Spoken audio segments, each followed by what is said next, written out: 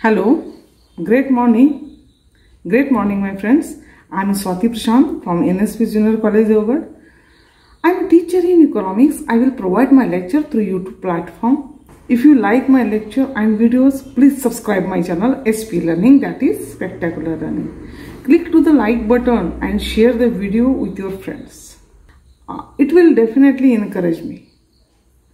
The video will be available in both of language, English and Marathi. If you come across any difficulty तुम्हाला या व्हिडिओमध्ये काही problem आला please watch the same video available in English काही काही concept इंग्लिशमधून खूप छान क्लिअर होतं. Friends we have been discussing the basic concept of micro economics okay मागील काही लेक्चर्सना आपण वॉन्ट म्हणजे गरज वस्तू आणि सेवा concept of utility, value and water diamond paradox of value. Then uh, we have seen संपत्ती पर्सनल इन्कम म्हणजे वैयक्तिक उत्पन्न पर्सनल डिस्पोजेबल इन्कम म्हणजे वैयक्तिक व्ययशक्य उत्पन्न. आज आपण आर्थिक क्रिया या घटकावर चर्चा करणार आहोत. अर्थशास्त्राचा विद्यार्थी म्हणून आपल्याला आर्थिक क्रिया आणि या संकल्पना योग्यरित्या समजल्याच पाहिजे. आधुनिक देशातील सर्व अर्थशास्त्र जे आहे ते या उपक्रमांभोवतीच फिरतात. आपण असे म्हणू शकत नाही की आर्थिक क्रिया okay?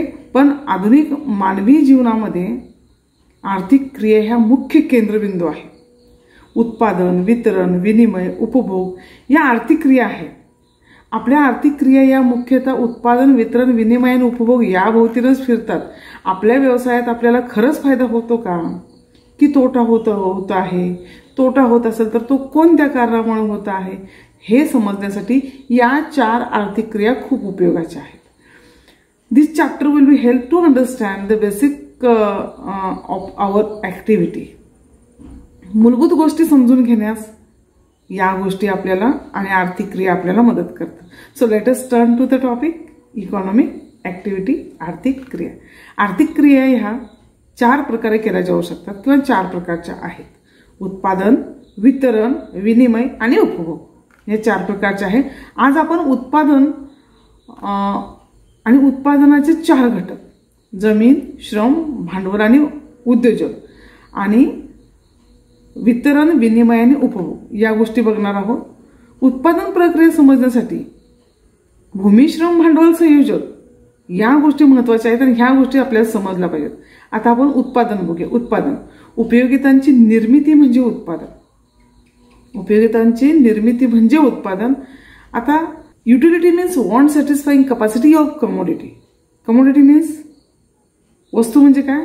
Commodity means goods and services okay वस्तू आणि सेवा. वस्तू आणि सेवामधील मानवी गरज भागवण्याची क्षमता म्हणजे उपयोगिता. वस्तू आणि सेवांमधील मानवी गरज भागवण्याची क्षमता म्हणजे उपयोगिता. ओके अशा वस्तू आणि सेवांची निर्मिती म्हणजे उत्पादन. ज्या वस्तू मानवाची गरज भागवू शकतात अशा वस्तूंचे उत्पादन किंवा अशा वस्तूंची निर्मिती म्हणजे उत्पादन. That is call production production means creation of the commodity वस्तूंचे उत्पादन क्रिएशन ऑफ द कमोडिटी उपयोगितांची निर्मिती म्हणजे उत्पादन. वस्तू आणि सेवामधील मानवी गरज भागवण्याची क्षमता म्हणजे उपयोगिता खूप सोपी साधी सरळ व्याख्या आहे. लक्षात ठेवायला पण सोपी आहे. अशा वस्तू आणि सेवांची निर्मिती म्हणजे उत्पादन. मानवी गरज भागविणारी उत्पादनाची निर्मिती म्हणजे उत्पादन. किती प्रकारे मी उत्पादन ही गोष्ट सांगितलेली आहे यातली कोणतीही एक लक्षात ठेवा. ओके लँड प्रोडक्शनमध्ये पहिलं उत्पादनामध्ये पहिलं आहे जमीन.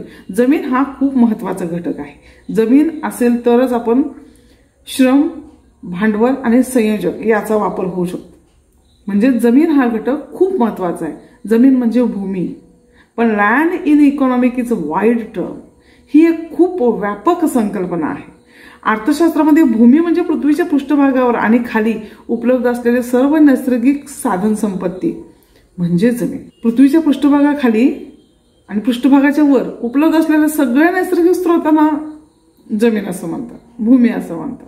जे पृथ्वीच्या पृष्ठभागाच्या खाली आढळणारे जे सर्व मिनरल्स आहेत म्हणजे खनिज जे आहेत मिनरल्स आहेत खनिज आहेत आणि पृथ्वीच्या पृष्ठभागाच्या वर मिळणारी माती आहे हवा आहे पाणी आहे सूर्यप्रकाश आहे वारा आहे हे घटक हे म्हणजे जमीन. जमिनीच्या वर आणि जमिनीखाली उपलब्ध असलेल्या कोणत्याही नैसर्गिक साधन संपत्तीला अर्थशास्त्रीय भाषेमध्ये भूमी असं म्हणतात. उत्पादन या भूमीसाठी उत्पादन प्रक्रियेत सहभागी झाल्याबद्दल या भूमीला खंड मिळतं. किंवा भाडे मिळतं. किंवा मोबदला म्हणून जमिनीला खंड आणि भाडे मिळतं. ओके पुढचा आहे श्रम. श्रम हा उत्पादनाचा मानवी घटक आहे. श्रम हा उत्पादनाचा मानवी घटक आहे. उत्पादन यंत्रणेत कामगारांची संख्या किती आहे? असंख्य प्रशिक्षित आणि अप्रशिक्षित कामगार आपले श्रम देत असतात. असंख्य प्रशिक्षित आणि अप्रशिक्षित कामगार आपले श्रम देत असतात. There are number of labours employed in the production system आणि ते श्रम कोणत्या कोणत्या प्रकारचं असतं? काही जण शारीरिक देत असतात काही जण मानसिक देत असतात काही जणांचं बौद्धिक श्रम असतं. असे श्रमाचे तीन पुढे प्रकार आहेत. आणि त्यासाठी वेतन मजुरी मानधन या स्वरूपात श्रमिकाला परतावा मिळतो. आर्थिक मोबदला मिळवण्याच्या हेतूने मानवाने केलेली बघा व्याख्या आर्थिक मोबदला मिळवण्याच्या हेतूने मानवाने केलेले कोणतेही शारीरिक व बौद्धिक काम म्हणजे श्रम. आर्थिक मोबदला मिळवण्याच्या हेतूने मानवाने केलेले कोणतेही शारीरिक व बौद्धिक काम म्हणजे श्रम. खूप सोपी वाक्य there are different types of human labour are required from production okay उत्पादनासाठी आवश्यक असणारे कामगारांचे वेगवेगळे प्रकार आहेत. जसे आपण पाहिले आहे की शारीरिक श्रम. कोण करतं? सगळ्यात महत्त्वाचं शेतकरी करतो. ओके शेतकरी आहे सुतार आहे लोहार आहे. चित्रकारसुद्धा आहे यामध्ये. इत्यादी शारीरिक श्रमामध्ये इन्क्लूड आहे. देन मानसिक श्रम.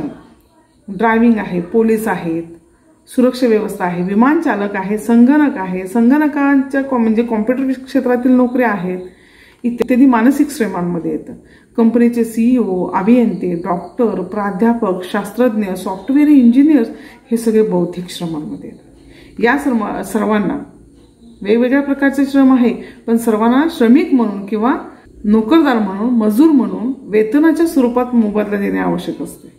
म्हणून उत्पादन व्यवस्थेत कामगार वेतनाचा विचार केला पाहिजे आणि तो विचार केला जातो. ओके पुढचा आहे कॅपिटल म्हणजे भांडवल. Capital is a produced means for further production it is a manmade factor of production it is manmade factor okay भांडवल हा उत्पादनाचा मानवनिर्मित घटक आहे. भांडवल हा उत्पादनाचा मानवनिर्मित घटक आहे.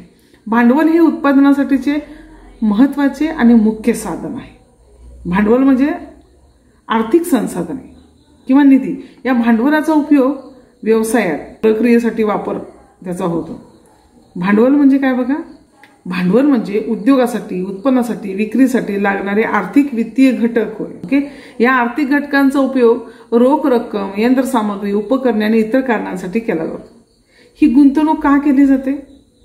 त्याचा फायदा काय होतो? गुंतवणूक केलेल्या भांडवलाला व्याजाच्या स्वरूपात परतावा मिळतो किंवा व्याजाच्या स्वरूपात मोबदला मिळतो. ओके पुढचा आहे इंटरप्रिनर्स म्हणजे संयोजक उद्योजक. आवश्यक कौशल्य चांगल्या कल्पना आणि नेतृत्वाचा वापर करून संयोजक बाजारात नवीन उद्योग तयार करतो. आणि संयोजकाला खूप महत्त्व आहे. संयोजकाच्या असल्याने किंवा संयोजकाने केलेल्या नियोजनानुसार खूप प्रॉफिटेबल बिझनेस चालू शकतो. कारण का त्याच्यामध्ये खूप नियोजन असतं.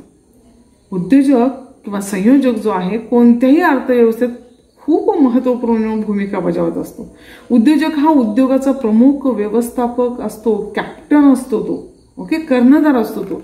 उद्योजक एक अशी व्यक्ती आहे की जी एक नवीन व्यवसाय तयार करते. आणि खूप जोखीम पत्करते आणि तसाच त्यांना आर्थिक फायदा सुद्धा मिळतो. बघा इंग्लिशमधलं वाक्य आहे खूप छान आहे तुमच्या पटकन लक्षात राहील. He is a special kind of labour आणि हे करत असताना त्याला तसाच उत्तम मोबदला सुद्धा मिळायला हवा. हा मोबदला म्हणजे त्याला कुठल्या स्वरूपात असतो? संयोजकाला. तर हा मोबदला त्यांना नफ्याच्या स्वरूपात असतो. आर्थिक क्रियेतील उत्पादन हा घटक आपण बघितला. ओके उत्पादनामध्ये भूमिश्रम भांडवल संयोजन हे बघितलं. आता बघायचं आहे आपल्याला डिस्ट्रीब्युशन आर्थिक क्रियानंतर distribution now just come to the point land labour capital and entrepreneurs म्हणजे भूमिश्रम भांडवल आणि संयोजन हे चार फॅक्टर्स किंवा हे चार घटक हे उत्पादन निर्मितीसाठी वापरतात. उत्पादनाचे घटक वितरणाच्या प्रक्रियेद्वारे जमीन भूमी श्रम भांडवल आणि संयोजक हे उत्पादनाचे चार घटक आहेत. जेव्हा जमीन वापरली जाते तेव्हा भाड्याच्या स्वरूपात काय दिलं जातं? तर भाड्याच्या स्वरूपात खंड दिला जातो. उत्पादन वाढवण्यासाठी कामगार यंत्रणांचा वापर करून उत्पादन पद्धतीत सुधारणा केली जाते. कामगारांना मजुरी दिली जाते. म्हणजेच कुणाला? तर श्रमिकांना आणि त्यांच्या श्रमाला मजुरी दिली जाते. मजुरी कशा स्वरूपात असते? पगार वेतन या स्वरूपात त्यांना किंवा मानधन या स्वरूपात त्यांना मोबदला मिळतो. पुढचं भांडवल. भांडवलाला काय मिळते? भांडवलाला व्याज मिळते. आणि संयोजकाला काय मिळते? तर संयोजकाला प्रॉफिट मिळते. ओके म्हणजे फायदा मिळतो. हे लक्षात ठेवायचं आहे सगळ्यांनी कंपल्सरी जमिनीला भाडे खंड श्रमिक श्रमाला किंवा कामगारांना वेतन पगार आणि भांडवलाला व्याज आणि संयोजकाला फायदा. आर्थिक क्रियेतील तिसरा घटक आहे म्हणजे तो म्हणजे विनिमय. Exchange it is a give and take it is किंवा अँटेक अर्थशास्त्रात विनिमय हा आर्थिक व्यवहारात असतो. विनिमय म्हणजे आर्थिक वस्तूंची व सेवांची देवाणघेवाण किंवा खरेदी विक्री. अर्थशास्त्रात विनिमय हा आर्थिक व्यवहाराशी संबंधित असणारा घटक आहे. विनिमय वस्तू विनिमय वगैरे तुम्ही दहावीला असताना ते पाहिलेलं आहे. वस्तूंची देवाणघेवाण म्हणजे वस्तू विनिमय. आर्थिक क्रियेतील चौथा आणि शेवटचा घटक म्हणजे कन्झम्पशन उपभोग. It is making use of goods and services to satisfy human it is making use of goods and services to satisfy human want मानवी गरज पूर्ण करण्यासाठी वस्तू व सेवांचा उपयोग करणे म्हणजे उपभोग. ओके थोडक्यात आपण आठही क्रिया पाहिलेल्या आहेत किंवा आठही संकल्पना आपण किंवा आठही घटक आपण पाहिलेले आहेत. उत्पादन वितरण विनिमय उपभोग हे घटक आहेत. फ्रेंड्स पुढील व्हिडिओमध्ये आपण स्थूल अर्थशास्त्र म्हणजे काय? म्हणजे मॅक्रो इकॉनॉमिक्स म्हणजे काय या भागावर चर्चा करू. आणि तुमच्या काही शंका असल्यास म्हणजे सोशल मीडियाला संपर्क करा. Okay guys thank you so much guys we will meet again next lecture till then goodbye thank you